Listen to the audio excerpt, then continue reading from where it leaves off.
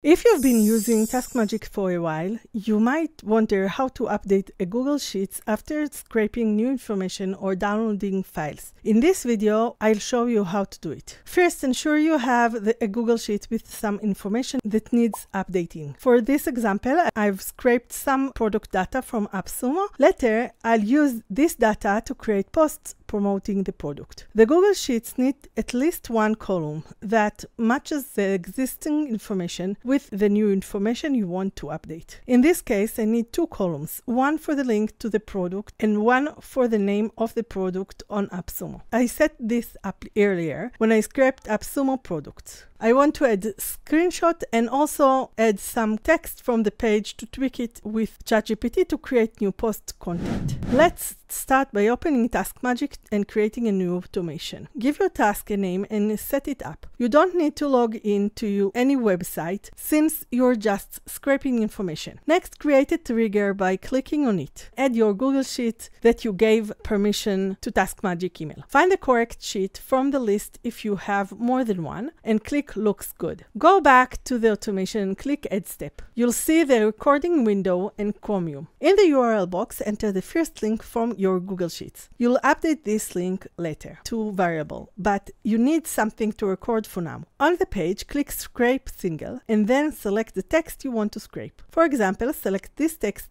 and confirm. If you want to take screenshots of the page, click on screenshots and edit the path to your computer folder. Open your folder, copy the path and paste it here. On the next line, you can add the name of the product from your Google Sheets. Or if you've already scraped it, use that step. This helps keep things organized on your computer. If you want more screenshots from the rest of the page, add a scroll down step and set it for 2 seconds to scroll a bit. Then add another screenshot step. You can add a number before or after the product name to get several screenshots with the same name in the same folder. If you need to scrape other information from the page, do that now and click I'm done. To add this information to an existing Google Sheets, you need two more steps. Click Add Step, but this time choose Apps instead of Web. Find Google Sheets in the list and select Find Row. If it's your first time connecting to Google Sheets, click Connect New Account. Choose the right Google account and give Task Magic permission to connect. Once connected, Task Magic will search your Google Sheets and show a list of them. Select the sheet you want to update, pick the correct sheet and choose the column to search by, which would be, in this example, by the product name. You can click on Exact Match to find the correct row in Google Sheets. Next, set up the information you're looking for in the sheet. For this example, get the name of the product from the Google Sheets.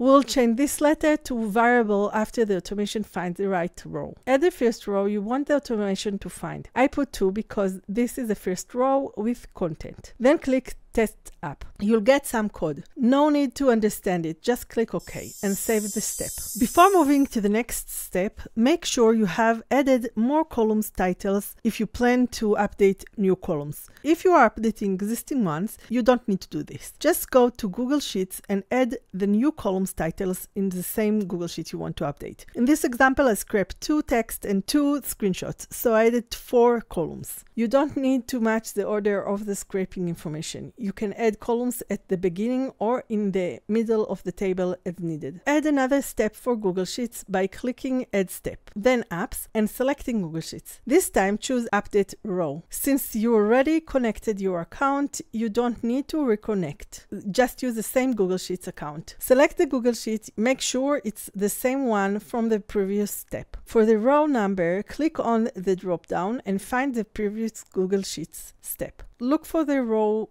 number that matches the name you entered earlier. Click on Does the first row have a header? If you have a header, you should have. You'll see a list of other columns in the Google Sheets. Choose the one you want to update and click on the drop down to update the steps. If you want to add more information, you can do it with another step. You can only fit one step in a row. Click on Test App. It will write the step in Google Sheets. Check that it updates the correct column and cell in the row you find earlier in in the column you chose. You don't need to delete it. It will be updated automatically when you run the automation. After finishing the step, go back to the Find Row step in Google Sheets and update the search to look for the right column. Here's how it works. When you set the loop to list, the Google Sheets doesn't need to have identical column names. You just need one column where the cell has same information, match the new data you want to update. When you add the find row step, it will search for the matching name from the trigger sheets in the sheets you're updating. However, you can't set the column variable from the trigger sheet to find the row before setting up the next step to update the Google Sheets. It needs to find something in the existing sheets fields so it can generate the correct reference. This way,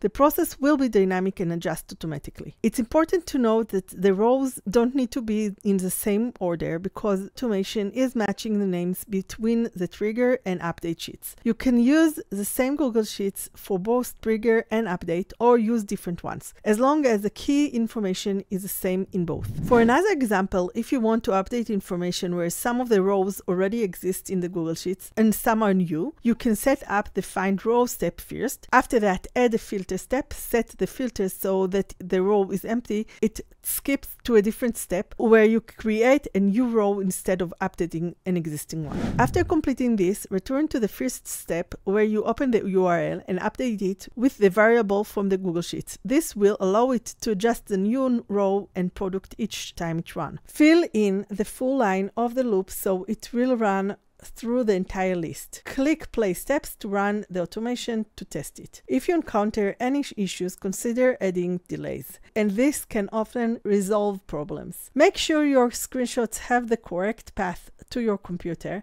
and the text should match what you scraped. And that's it for this tutorial. If you want to learn more about how to use Task Magic, you can watch this video next.